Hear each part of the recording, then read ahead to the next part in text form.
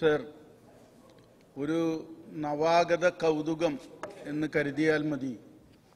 ഇന്ന് പ്രതിപക്ഷം ഏത് രീതിയിലായിരിക്കും നിയമസഭയിൽ പ്രതികരിക്കുക എന്നുള്ള കൗതുകത്തോടെയാണ് ഞാൻ എത്തിയത്. പ്രതിപക്ഷ നിരയിലാകെ ഒരു മൗന ഭാവം നിറഞ്ഞു നിൽക്കുന്നു. മഞ്ഞുകൊണ്ട പൂക്കാവടി പോലെ എല്ലാവരും തളരുന്നു. പ്രതിപക്ഷ നേതാവ് ഈ സഭയെ വിശേഷിപ്പിച്ചത് വിരാട രാജധാനിയിലെ കൗരവ പാണ്ഡവ ചൂതു കളിക്കുന്ന കേന്ദ്രമായിട്ടാണ്. ഒടുവിൽ പാഞ്ചാലിയുടെ വസ്ത്രാക്ഷേപവും തുടർന്ന് ശ്രീകൃഷ്ണൻ കൊടുത്തയച്ച ബോംബെ ഡൈങ്ങിന്റെ പത്തൊമ്പത് കുത്ത് സാരിയും ആ കഥയൊന്നും ഞാൻ പറയുന്നില്ല സർ. എന്തുകൊണ്ട് സന്ദർഭോചിതമായി അവർ പിൻവാങ്ങി എന്നുള്ളത് അവർ ജനങ്ങളോട് പറയേണ്ട കാര്യമാണ്. അനാവശ്യമായി എടുത്തു ചാടിയതിന്റെ അനന്തരഫലമായിരിക്കാം. പിന്നെ ഈ നടുത്തളത്തിലിറങ്ങി കല്യാണപ്പന്തലിൽ വെച്ച താമ്പാളം പോലെയാക്കും നടുത്തളം എന്നാണ് ഞാൻ വിചാരിച്ചത്. ഒന്നും ഉണ്ടായില്ല. ക്രമേണ ചോദ്യോത്തരവേള കഴിഞ്ഞ് ശ്രദ്ധ ക്ഷണിക്കൽ കഴിഞ്ഞ് സബ്മിഷൻ കഴിഞ്ഞ് നമ്മൾ ധനാഭ്യർത്ഥന ചർച്ചയിലേക്ക് വന്നു. ധനാഭ്യർത്ഥന ചർച്ചയിൽ കൃഷി ജലസേചനം എന്നീ രണ്ട് വകുപ്പുകൾ. ആ വകുപ്പുകൾ കൈകാര്യം ചെയ്യുന്ന രണ്ട് മന്ത്രിമാരും വളരെ കാര്യക്ഷമമായി ഈ വകുപ്പിന്റെ നിർവഹണം നിർവഹിച്ചുകൊണ്ടിരിക്കുന്നു എന്നുള്ളത് അതുമായി ബന്ധപ്പെട്ട കാര്യങ്ങൾ പഠിക്കുന്നവർക്ക് കേരളത്തിൽ പറയാൻ കഴിയും. വി വി രാഘവൻ കേരളത്തിലെ എല്ലാ പഞ്ചായത്തുകളിലും കൃഷിഭവനുകൾ ആരംഭിച്ചുകൊണ്ട് ഒരു നവ കാർഷിക വിപ്ലവത്തിന് കേരളത്തെ സന്നദ്ധമാക്കിയെങ്കിൽ മേധാ പട്കർ എന്ന് പറയുന്ന ലോകമാദരിക്കുന്ന പരിസ്ഥിതി സംരക്ഷണത്തിന്റെ എല്ലാ തലത്തിലുമുള്ള കേന്ദ്രങ്ങളെ പ്രചോദിപ്പിച്ചുകൊണ്ടിരിക്കുന്ന ആ വലിയ വ്യക്തിത്വത്തിന്റെ ശിഷ്യനായി രാഷ്ട്രീയ രംഗപ്രവേശം ചെയ്യുകയും ഇന്ന് കേരളത്തിലെ കൃഷിവകുപ്പ് മന്ത്രിയായിരിക്കുകയും ചെയ്യുന്ന പി പ്രസാദിന്റെ നേതൃത്വത്തിൽ കേരളത്തിലെ കൃഷിവകുപ്പിന്റെ കടിഞ്ഞാൺ സുഭദ്രമാണ് സാർ. അതുപോലെ തന്നെ കേരള വാട്ടർ അതോറിറ്റിയുടെ ഓരോ ചലനങ്ങളിലും ഇന്നലകളിൽ ഉണ്ടായിരുന്ന കെടുകാര്യസ്ഥതകളെ മാറ്റി മാറ്റി ഗാർഹിക കണക്ഷനുകൾ അതുപോലെ തന്നെ കുടിശ്ശിക തീർപ്പാക്കൽ എന്നീ കാര്യങ്ങളിലൊക്കെ അത്ഭുതാവഹമായ മാറ്റങ്ങൾ വരുത്തുന്ന യുവമന്ത്രിയാണ് റോഷി.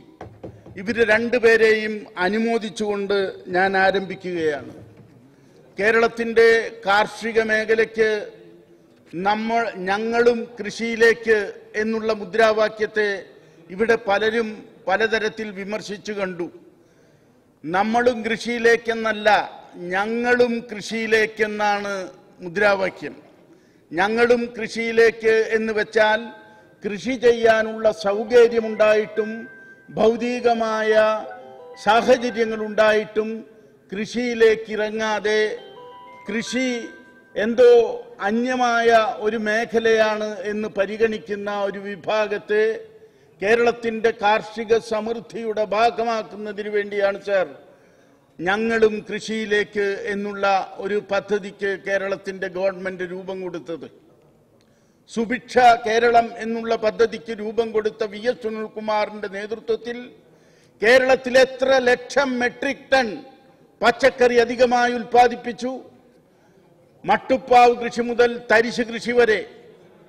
കൃഷിയിടങ്ങളിൽ ചിലപ്പോൾ ചില പ്രത്യേക പ്രദേശങ്ങളിൽ അതിന് പ്രോത്സാഹിപ്പിക്കുന്നതിന് വേണ്ടി ഡെമോൺസ്ട്രേഷൻ എന്നുള്ള പോലെ നമുക്ക് കൃഷി ആരംഭിക്കേണ്ടി വരും. എല്ലാ അർത്ഥത്തിലും അത് തികഞ്ഞ കൃഷിയുടെ രൂപത്തിലായിരിക്കണമെന്നില്ല. പക്ഷേ ന്യൂജൻ പുതിയ തലമുറയെ കാർഷിക മേഖലയിലേക്ക് നയിക്കണമെങ്കിൽ കാർഷിക സംസ്കാരത്തിൽ നിന്ന് അവരെ വിട്ടുപോകാതെ നോക്കണമെങ്കിൽ അത്യധികം യത്നിക്കേണ്ടതുണ്ട് സർ എല്ലാവരും കൃഷി ചെയ്യുന്ന ഒരു കേരളം എന്നുള്ള കൺസെപ്റ്റ് അല്ല.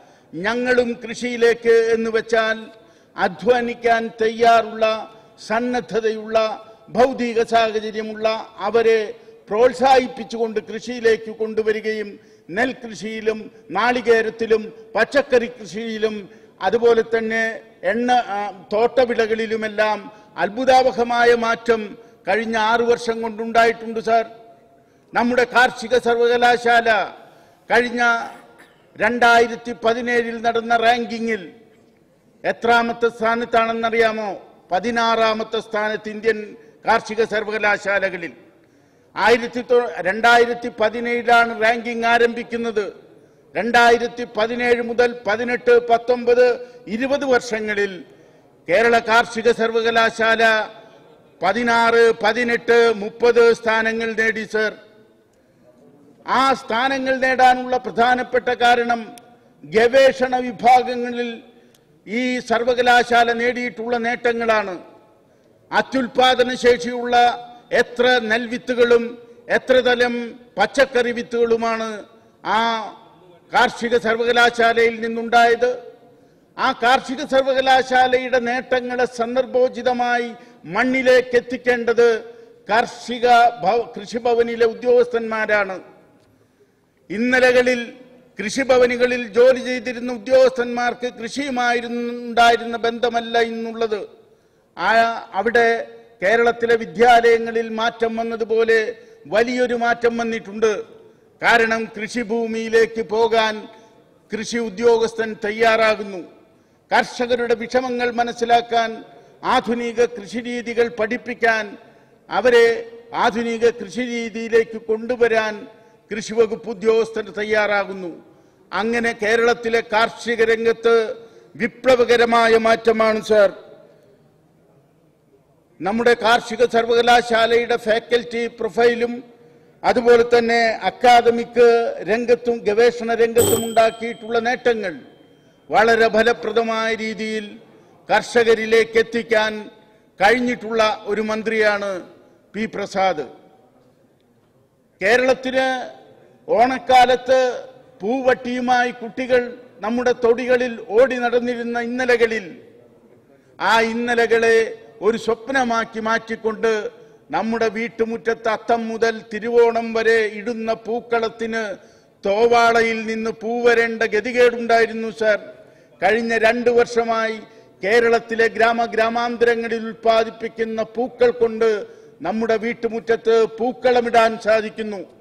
ഓണത്തിന് ഒരു മുറം പച്ചക്കറി വിഷുവിന് കണികി വെള്ളരി ഇങ്ങനെയുള്ള മനുഷ്യനെ പ്രചോദിപ്പിക്കുന്ന മുദ്രാവാക്യങ്ങളുമായി കൃഷിവകുപ്പ് രംഗത്തെത്തിയതോടെ ഓണവും വിഷുവും ആണ്ടൃതികളും ഉത്സവവേളകളും വളരെ സമൃദ്ധമായി ആഘോഷിക്കുന്നതിന് വേണ്ട ഉൽപാദനക്ഷമത നമ്മുടെ മേഖലയിൽ കൈവരിക്കാൻ സാധിച്ചിട്ടുണ്ട് സർ. അതുകൊണ്ട് കൃഷി ജലം തുടങ്ങിയ വകുപ്പുകളിലേക്കുള്ള ബജറ്റിലെ ധനാഭ്യർത്ഥനകൾ അതിനെ എല്ലാ അർത്ഥത്തിലും പിന്തുണച്ചുകൊണ്ട് ഞാൻ എന്റെ സംസാരം അവസാനിപ്പിക്കുകയാണ്. ബഹുമാനപ്പെട്ട